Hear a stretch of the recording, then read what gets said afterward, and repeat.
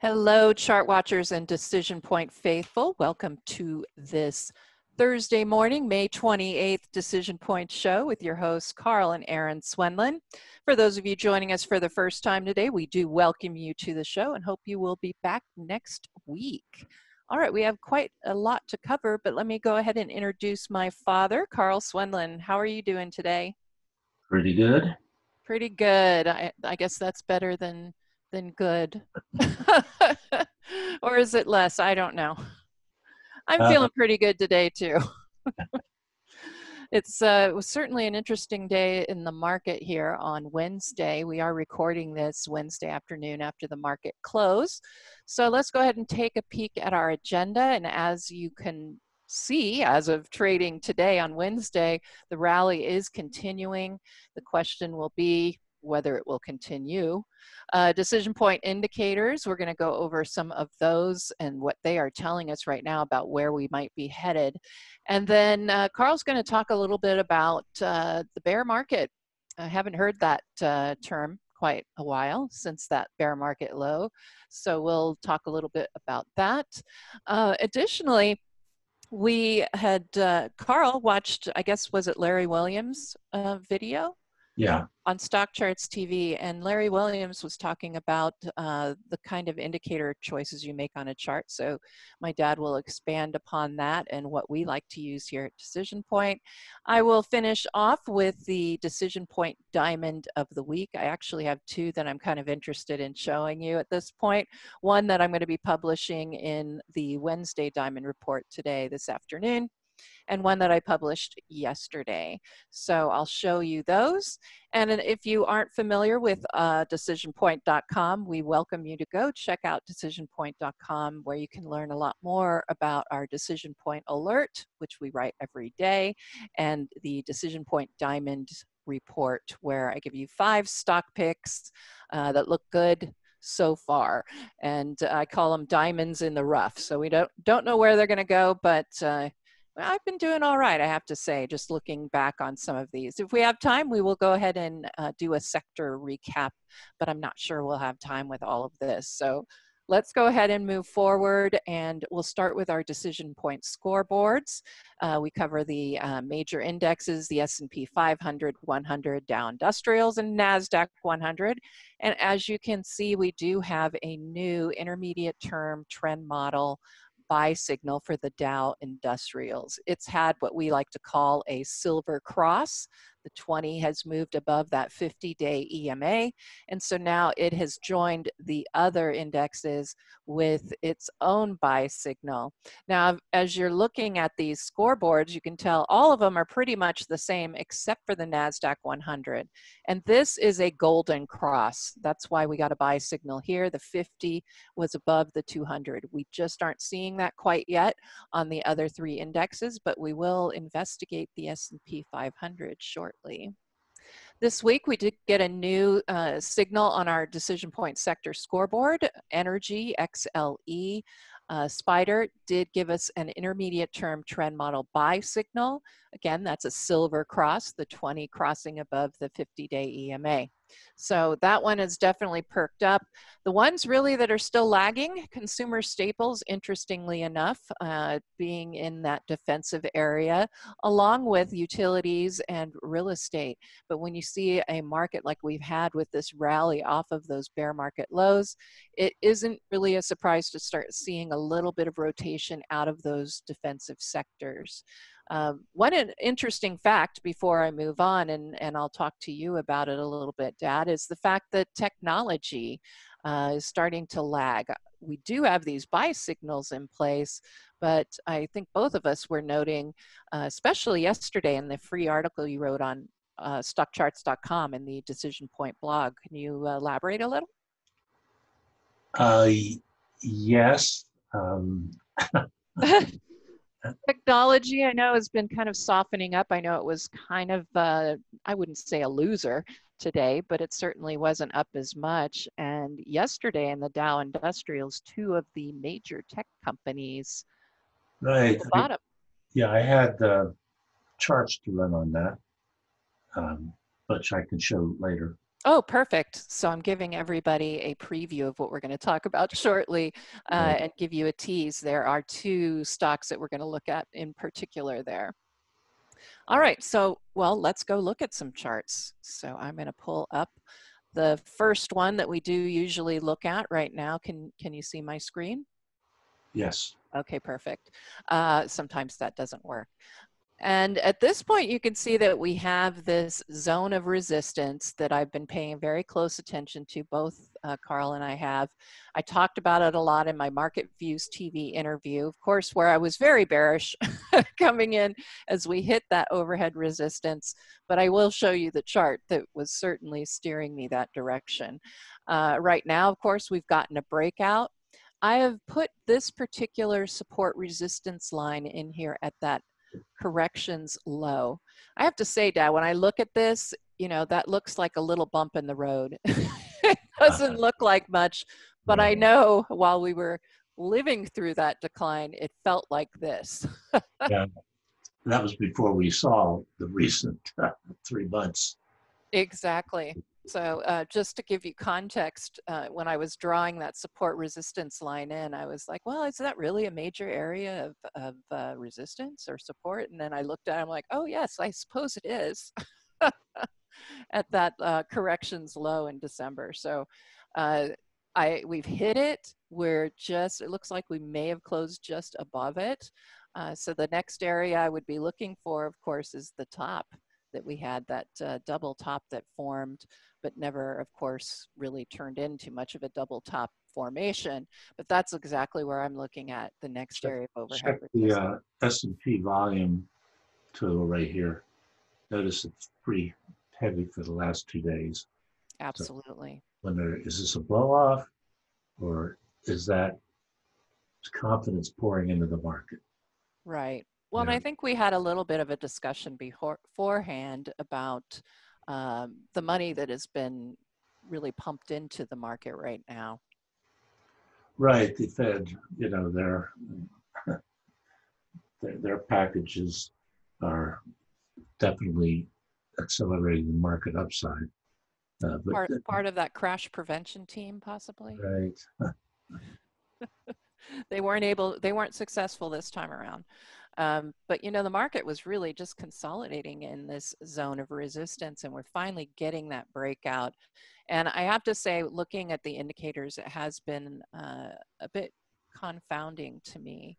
Uh, as i was telling my dad i mean i've been considering you know this as a, this area of consolidation as a as a weak point and you know the fact we couldn't get out of it. So i've been i've just felt that the market was weak. We were due for a turn. And one of the reasons i was thinking this is really our Swenlin trading oscillators have been really on the money. Um, but i have to say they weren't quite there for us this time around. They had topped uh, they were turning downward as of yesterday. I was seeing a bit of a hint that that it, it wasn't all uh, dreary because we were seeing an improvement on these percent stocks above their 20 day EMA, as well as the percent of PMOs rising at this point. So, one of the things I noted too was that, you know, when we had yesterday's big gap up rally, you know, we didn't see the same kind of evidence that we saw as far as moving these indicators very quickly upward. We, we didn't see that. And in fact, we were seeing both the Swenlin trading oscillators turning down. So, really interesting uh, to, to, to look at, to talk about. But at this point, we have gotten that breakout, and the Swenlin trace, trading oscillators are moving almost uh, vertically upward toward overbought territory. I'd even say at this point uh, they they could be considered somewhat overbought, especially when you look back here. oh yeah. Um, of course, uh, being in this certainly bull phase, we'll call it that, um, that you overbought doesn't necessarily mean anything. But you should, you should uh, tighten up when you see it and just be prepared. Absolutely. You know, this, like I said, I've been not liking what's been going on the last three, four days in the market, and especially last week. And so uh, one of the ways that I help myself, at least in my trading, is I, I start tightening up my stops and really start reevaluating my targets. You know, am I at a point where I want to take some of my profits or does the chart look good enough that it can, you know, withstand the winds per se of the market? Uh, so it worked out well. Obviously, the the stops. Uh, I think I only hit one of my stops uh, today, and the rest are I hit most of my price targets. So I'm going to have to go back and and look at that more closely. But right now, I mean, all of these indicators are starting to move straight up, so can't really argue with that. Let's see, I have here. That's this one. I did want to look just briefly at, at the, this is a 10 minute bar chart and I, I've been following this to give me sort of a hint of what to expect the next day. Of course, looking at that 10 minute bar chart yesterday, I saw this double top. I saw it execute at the end of the day. Everything really was pointing bearish. And the fact that we had that gap up day, yet the Swenlin trading oscillators were still turned down, um, again, I, I was rather surprised when I didn't see this continue. I, of course, early in the morning, it made sense, but notice we didn't even close that gap from Tuesday and we started back up. We formed a rising wedge. These are bearish formations and your expectations would be a breakdown. Perfect time for it to have done that right here at these tops and instead it uh, managed to move itself out and continue higher. So hard to argue with that kind of price action. Uh, this is the 10 minute bar PMO. And as you can see, still rising, all that volume poured in at the end of the day as well. So interesting to look at. All right, I've looked at my indicators. I'm gonna pass the, uh, the, the baton to you, or the, as we used to say, the uh, controls of the airplane. Great. okay. Yesterday, I, I was surprised to see Apple and Microsoft did so poorly considering how the rest of the market did so well. And they actually finished up at the bottom of the heap at the end of the day. And this is a, from my article. If you read it, I'll try not to linger too long but uh, just looking at Apple, double top, rising, uh, well, kind of wedgy, but mainly it's a rising trend channel, topping, PMO, volumes really poor uh, against, uh, you know, it's almost equaling there their price, but the volumes way, way down the, the uh, uh OBV. Microsoft just kind of looking at the same chart on those, that's already got a PMO sell signal, uh, PMO down through the, the uh, signal line. And then the OBV, we're really basically confirming it's not quite there, but neither is, neither is its price. Yep, makes sense. What did they do today? Um, I, I haven't looked at those charts. I'm uh, let me look. curious. Yeah, if you just go back to the article and click on one of them, that'll work. I got the, There it is. no, that's the wrong one. Here, Oh, there. There's Apple today. Uh, It was down again, but it, it uh, basically, it did close up, but it still didn't do so great uh, today. And let's see, Microsoft, Yeah, that PMO, yuck. uh, same deal, down, but it, it closed uh, near the high for the day. I've liked that software space, but I have to say that short-term double top uh, is is certainly not uh, looking too good. Right, right. And the PMO, same same thing. It's overbought.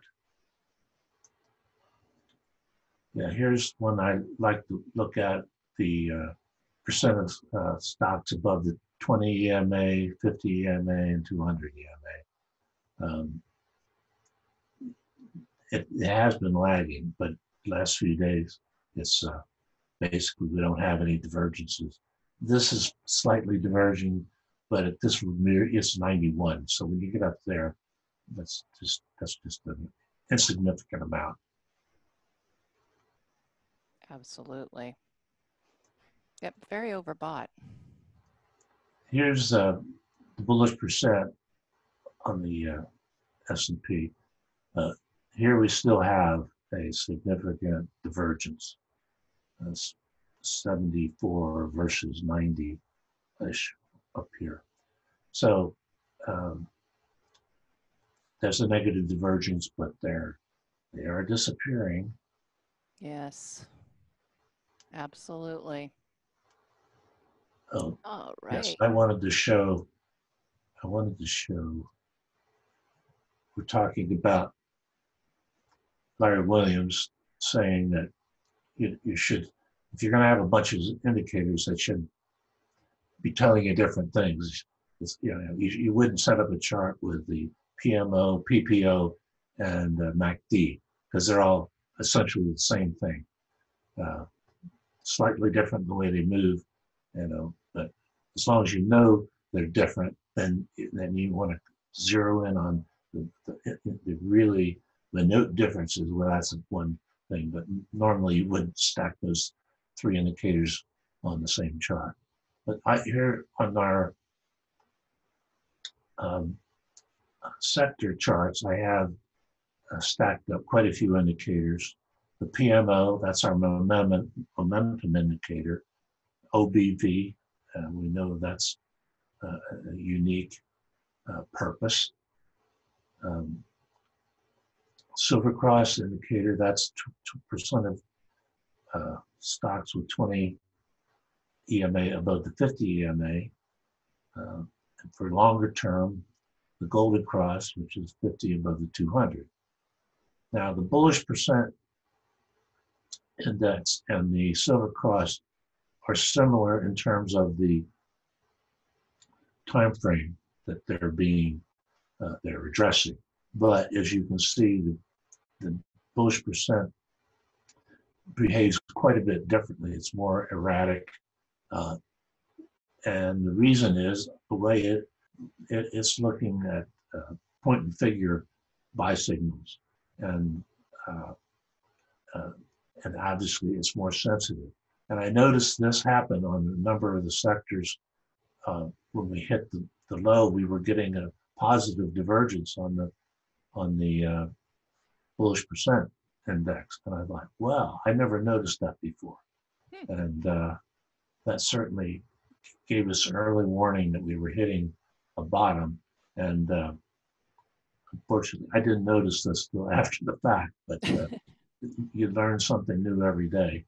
Uh, but again, it's uh, we're looking for negative divergences on on the, that indicator, and we got it.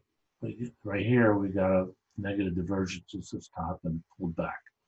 Uh, we're not we're not seeing that uh, so far on, on, on this most recent top. But here we have uh, we have the percent of stocks above their 20 EMA. Basically, that shows if it's above the 20 EMA, the price is above 20 EMA. That's uh, short-term strength being demonstrated. And the same is true for the stocks above 50 EMA, and that addresses the intermediate term. And if we address the so that's why I picked those. Those that's I could get to look at a lot of things here, and they are they're all giving me different information and, and for the same information at different time frames. Yes, and it is and one of the things too that I would add is when, especially when you're looking at your you know your stock chart, the stock charts, the ones you want to invest in, your ETFs, and all of that. It's really a good idea not to have you know window after window after window of indicators because it, you are going to get some overlap like we were talking about and a lot of times it can confuse you into what you want to actually do so you need to find those indicators that work for you uh, preferably not a huge amount of them because it just makes trying to process all of that information even harder so that would be my my uh, right. addition. As I spoke of the beginning uh, um, here is that you know, for like the PPO, the PMO, and the MACD, if you had those all up there, plus some others, and you can say, well, I've got three indicators giving me the same thing. Well, no, you've got essentially one type of them. You got three types of the same indicator, giving you three different answers, which you know you should only count one. Right. the one you trust the most. And of course, we always recommend the price momentum oscillator, the PMO, which we find superior to the others, of course. The others are not invented here. exactly. Um, with the talk, um, Greg and Grant Morris published an article this weekend, which I read, and uh, they talked about when is the bear market over? And uh, I, it, it gave me a new perspective on that. But there's there are two ways you could say once the, the market has rallied 20% off of the bear market low, that you're out of the bear market. They say, and other people say that when the uh, when you've recovered all that was lost and, and making new highs, then the bear market is over, which I think is, is most useful in this particular case. No, no definition is going to meet every criteria, but I think it's, you know, I'm, I'm having doubts about this this rally, but you know, uh, it could it could peter out before it ever makes the new highs. Um, but anyway, if it doesn't make new highs, then that's a new bull market, and you measure that bull market from this bear market low. Yep. And that double top, it just really looked like it was time for the market to fall apart. And instead, we got two gap ups. we got was a consolidation. Yes. And then that gap up out, and then the gap up we had to uh, yesterday. It's just um, it's it's fascinating. I mean, we certainly had indicators that were bullish, um, but the majority, uh, like I said, uh, it's been um, really interesting to see this. And and you know, there are outside influences, obviously, um, besides the technicals, and I think this is a really good example of that. Right. Right. All right. Um, did you have anything else? And otherwise, I'll go over to my diamond of the week. Much. Uh, yeah, you, you you can take it back. All right. I think uh, people will recognize both of these names. I'm going to give you a sneak peek into what uh, I did yesterday in my Diamonds report and what I'm doing today in my Diamonds report. And the first one up is Coca-Cola. And actually, it didn't come up on my scan results, but Coca-Cola Europe came up on my scans. And when I compared the two charts, I actually liked the KO Coca-Cola uh, chart a lot more than the others. And here are a couple of reasons why. We had a breakout of this descending wedge or falling wedge that's a bullish pattern. And I liked that bar. This was yesterday on Tuesdays when I presented it. So that was the the OHLC bar I was going off of. We had nice volume coming in, almost above its uh, average there that uh, I track. I think this one's, yeah, the 50 day moving average for volume. And so we almost got up there. We're seeing volume coming in, uh, which I like. PMOs on the buy signal. It isn't above zero just yet, but it certainly looks like it's headed there. And you can see RSI is now above 50 on the breakout. And today it, it had a pretty good day. Uh, upside target, you know, let me go ahead and do a little bit of an inspection tool here. So here's where we were at. And if I, oh, let me get this, there we go, okay. So just up to there is about an 8% move. So currently, if we look at it, we're gonna have uh, a 6% to get to that overhead resistance from where we started before. But if we can get that gap back here covered and I'm going to show you that gap right there. I would be watching that gap very closely once we hit this area. I do think we'll, we will get up there and, and test that resistance level. The question is whether it's going to close that gap. So if I had it and, and it did get up to this point, I would be watching very closely to see if that gap gets covered. I always in my diamonds report set a stop level just so that you have an idea of the percentages and, and where they land. And in this case, an 8% stop would put you pretty much at that, um, at that area of support on the low that we had in May. So I thought this one looked pretty good, uh, the Coca-Cola. Not thrilled, I will admit, with the scooter, the stock charts technical rank. I do like to usually get my um, stocks out uh, of 75 and above is my preference. Um, but I, am going to go ahead and, and uh, let that go uh, on this somewhat bottom feeding opportunity that I think is set up. Starbucks is the other one I think is looking really interesting, and this one's going to be in tonight's Diamonds report.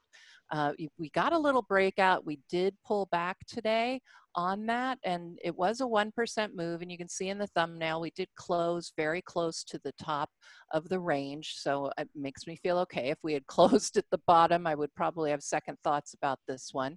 But you can see uh, we got a whipsaw, um, buy, sell, and then buy signal came in, and we're starting to move back up.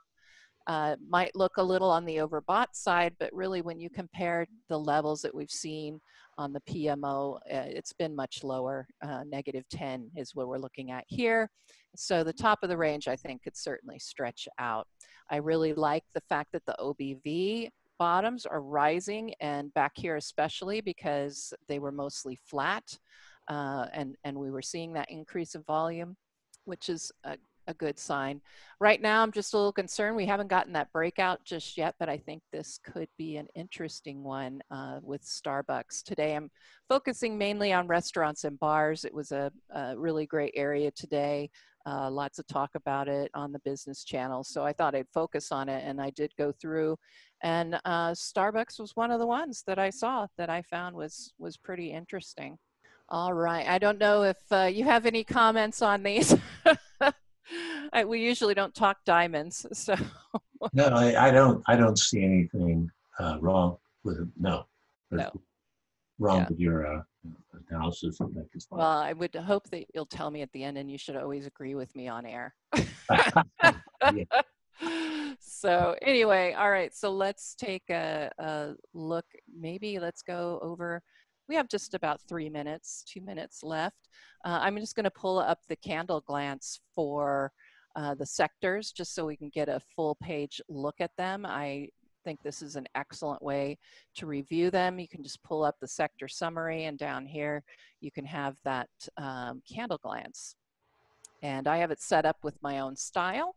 And you can see there's your PMO and the 20, 50, and 200 day EMAs. So just giving this one a peek. Remember XLE, we did just get that 20, 50 day positive crossover. As far as looking at these sectors, uh, are there any in particular that are drawing you in? Me, no. No. um, some of the interesting ones, I think financials are looking rather interesting. Uh, I'll pull up that chart and tell you why. We've gotten that breakout from those two tops we had back in April, and it does look like a almost like a hammer formation. Uh, we closed near the top uh, we can see that RSI is now over 50. So I have to say the financials are looking pretty interesting right now. And if you go back a little bit here, let's see. Well, we do have these rising bottoms. I thought maybe this one was uh, rising, but now my eyes are fooling me. But we are seeing uh, rising bottoms on that OBV. Uh, I, think it's a really interesting chart. I think financials are starting to wake up a bit, and I find it's that. Like I said, a rotation. Yes, it's time, financial Because it was very strange, uh, part of the day at least, that see the, the Dow was way up. and- Yes. And the S and P was flat. So you don't Yep. see that often. All right, well, that does it for today's show. I hope everybody has a great uh, trading day on Thursday. We will see you next week. Happy trading. Hey guys, Grayson Rose here with StockCharts.com. Thank you so much for watching. I hope you enjoyed this video. Remember, if you did, give us a like down below, leave us a comment. We'd love to hear from you. And most importantly, don't forget to subscribe to our YouTube channel for daily content from an incredible collection of technical analysts and financial minds. We'll see you back here very soon. Happy charting, my friends.